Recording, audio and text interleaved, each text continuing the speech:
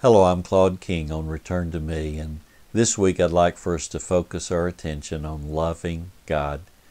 Jesus said the first and greatest commandment is to love the Lord your God with all your heart, soul, mind, and strength. When I had the privilege of working with Henry Blackaby on the message Experiencing God, Henry would teach one of the realities of experiencing God that God pursues a continuing love relationship with us that is real and personal.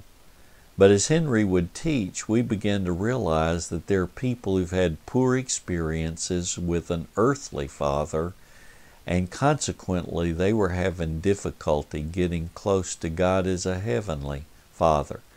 Um, people who'd been abused or neglected or abandoned, all kinds of different issues that might be involved.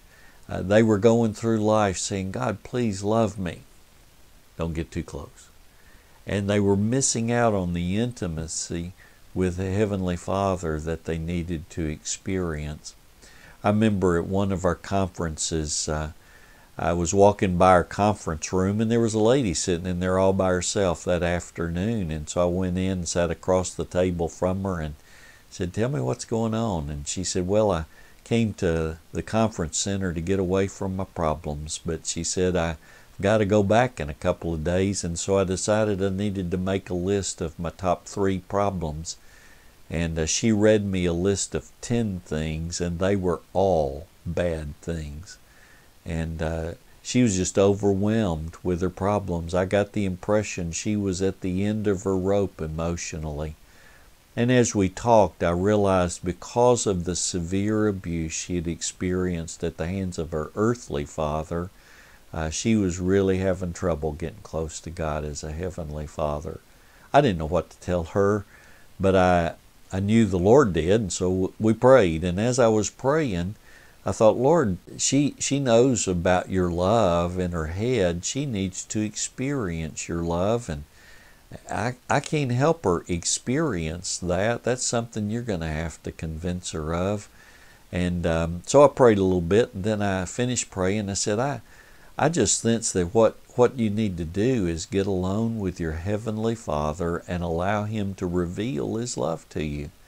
I could tell she was exhausted from uh, all of the difficulties she was facing, and I said, Why don't you go take a nap?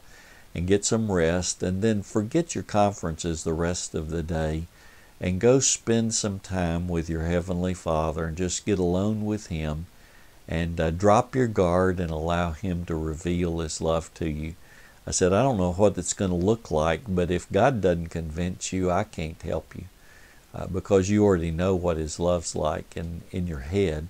You need to experience His love. The next day, she came up to me at the conference and said, uh, "Let me tell you what happened to me." She said, "I, I took your advice and I went and got took a nap and got some rest, and then I went and spent the afternoon in the prayer garden with my heavenly Father, and He loved me." She said, "I have never experienced that kind of love from Him before."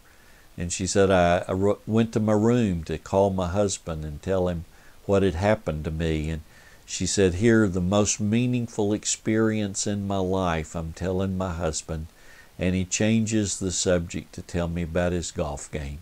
She said, That's the way he does. He just uh, never cares about the things that really matter to me. She said, It always hurt in the past, but she said, Something struck me that uh, this time it didn't hurt because I know my Heavenly Father loves me, and right now, that's enough. Well, um, we prayed, and uh, she called me months later and said, I just want to let you know it's like I've had a heart transplant, and now I have a love for my Heavenly Father like I've never known before. God wants to reveal His love to us. We need to experience His love. And uh, I want to encourage you to take time this week to allow God to love you. Maybe you'll need to get alone and spend some time walking and talking with your Heavenly Father. It may be that you need to share with a brother or sister in Christ about the brokenness in your past. You don't have to go into all the details, but ask them to pray for you because God has given us uh, spiritual weapons that have power to demolish strongholds. And uh, we can demolish arguments and every pretension that raises itself up against the knowledge of God. Just spend some time with your Heavenly Father and ask Him to reveal His love to you. Uh, you can't experience it unless He does it, but He can. He wants to. Let God reveal His love to you this week, and let's uh, let's love God.